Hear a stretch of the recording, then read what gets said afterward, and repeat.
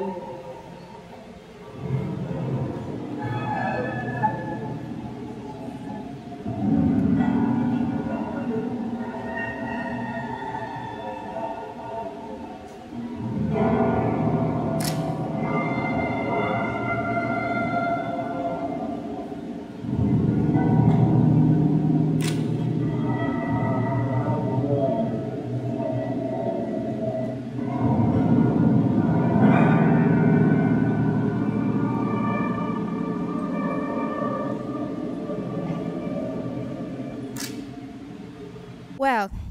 if you thought I was tuning the piano, that's not true.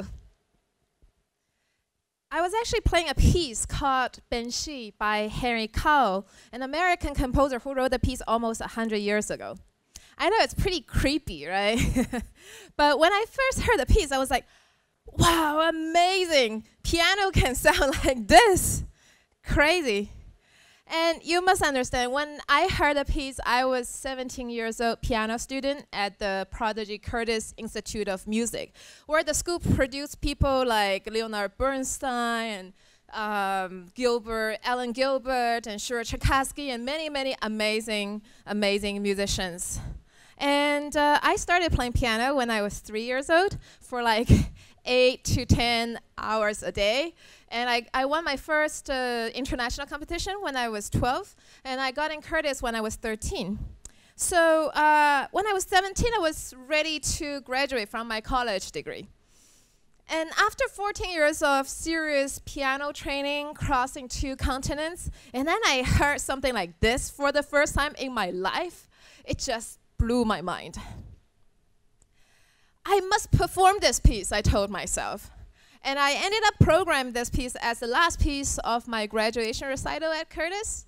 Um, I had to program it as the last piece because I was playing all inside the strings and uh, it would rip off the layers of skins on my fingertips.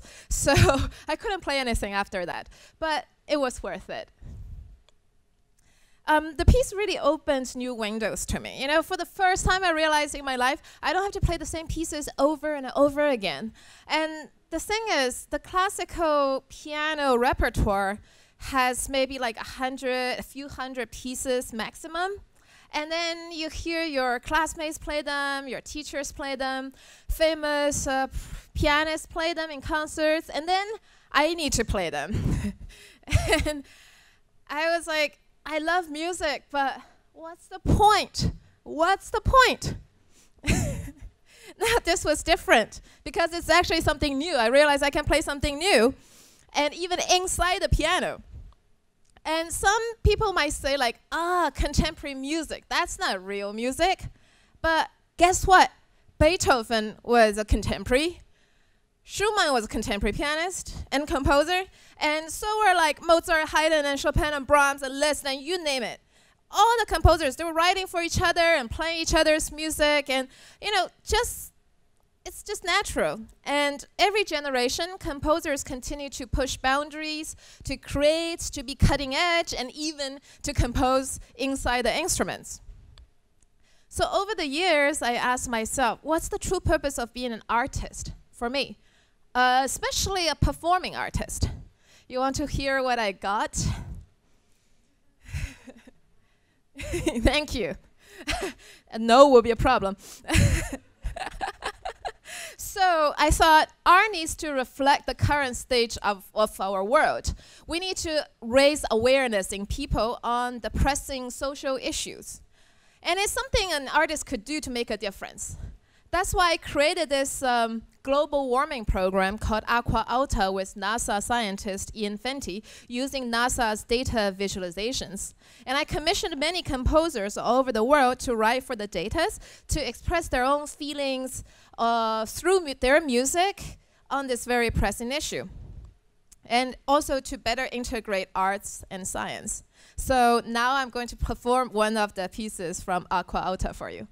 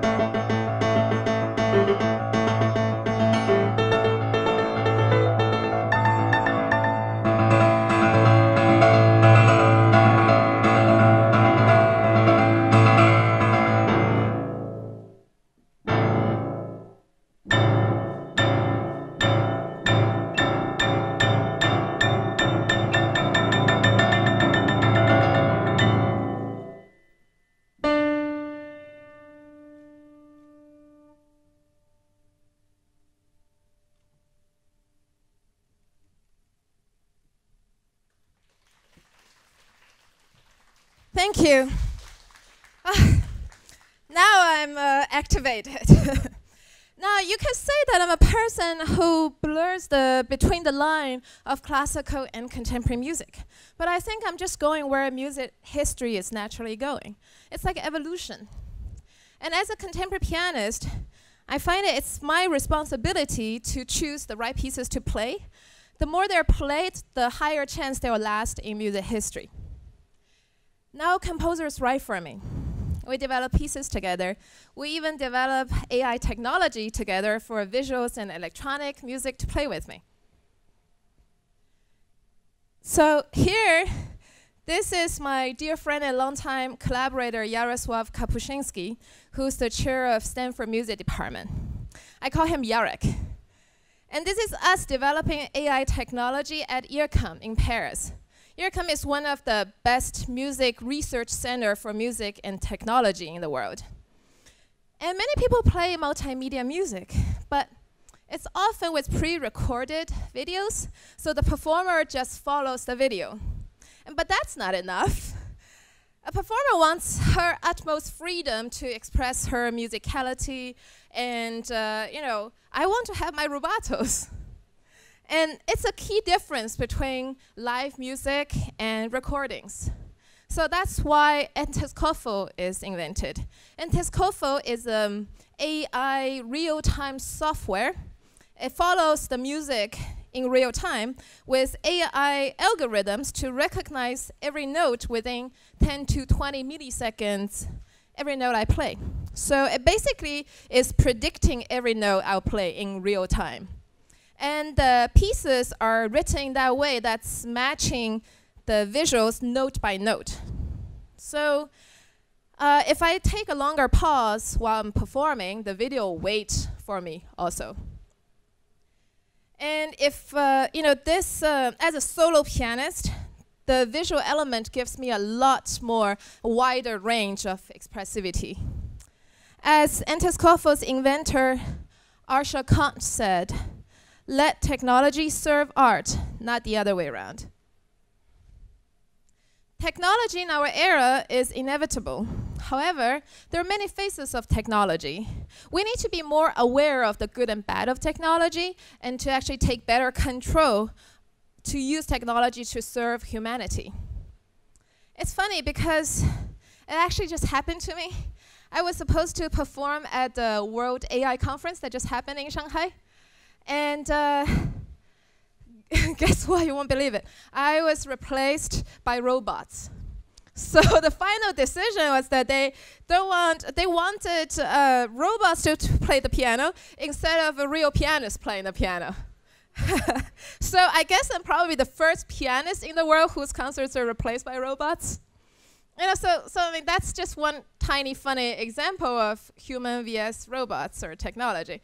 But as Andrew Yang these days are talking about a lot, that you know, 80% and basically millions of job loss are happening in the US due to automation. So this is something we all need to think about in the future.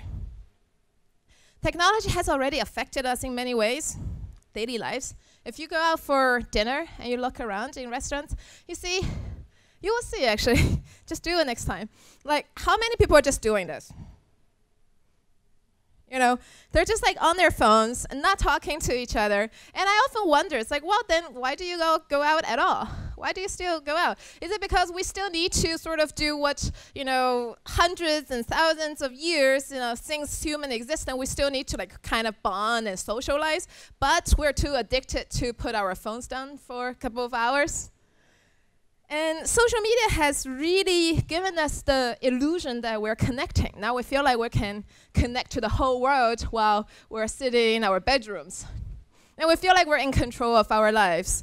But you know, that's just an illusion. The social media inventors want us to feel that way. But in reality is that we are just being tricked. We're brainwashed, calculated by uh, Las Vegas casino slot machine AI algorithms. And then, you know, so these companies can go onto the stock market using our data. So love, connection, and empathy are the true needs of human beings. the digital era just misleads us to think that we can achieve all these by technology. But all psychologists know if you make a video call, you can't see the full body language of the other person. You can't see his or her breathing thinking with yours. You can't see his irises enlarging. So human beings actually need to connect on a much, much deeper level that's physical, intuitive, and also subconscious. Believe it or not, technology is also damaging our love lives. So psychologist Dr. Alexandra Solomon in her book Loving Bravely said, now what we are doing, we're just listening while texting, texting while watching a show, watching a show while scrolling Facebook, and we seem to rarely put our whole self at one time in one place. And technology gives us the illusion that we can get always more, more dating profiles, you know, as long as you keep swipe, swiping, and it's fast and easy and efficient. But this is not true love. True love requires real listening, real real listening, real growth, you know, real presence. And all that takes time. And Solomon calls the face to face, undivided attention the big B, big P presence. And the small, you know, through technology, micro interactions, the small p presence, like Facebook pokes and likes. So uh, for me, performing art is a great way to uh, resurrects this big P presence. Because when I'm giving a concert or while we are going to a concert, it's really about truly listening, truly sharing, and truly feeling. Live music is a moment form. The moment only exists when I'm performing a piece of music for you. And you know, you have the chance to just sit down, listen, let music take you wherever you want to go. Let music make you feel whatever you want to feel.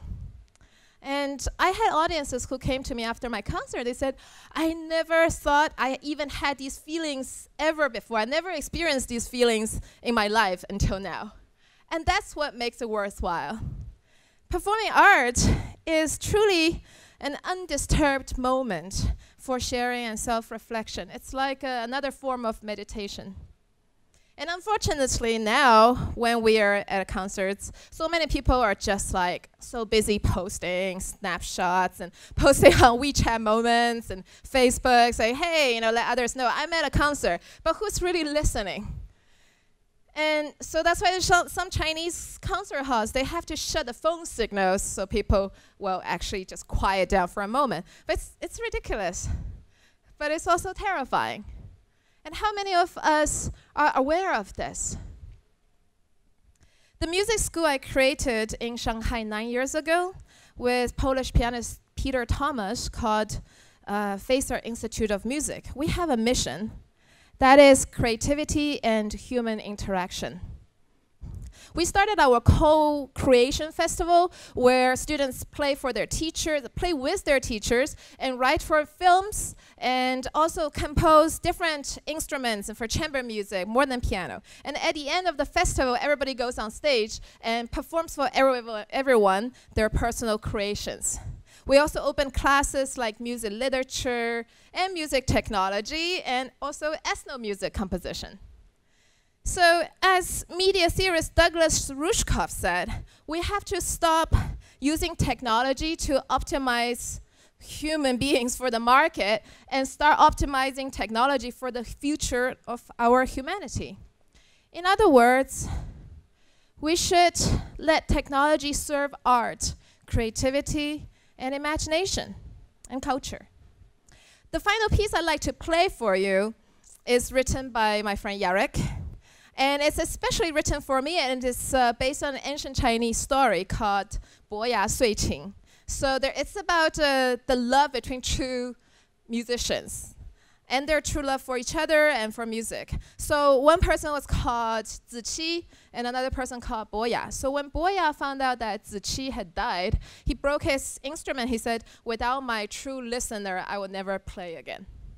So this piece is also about a dance between Chinese calligraphy and piano. I hope by using technology to assist music performance and create new music together, I'm doing the right thing. now I welcome you to put down your phones and uh, to put down your phones and to truly experience this moment with me.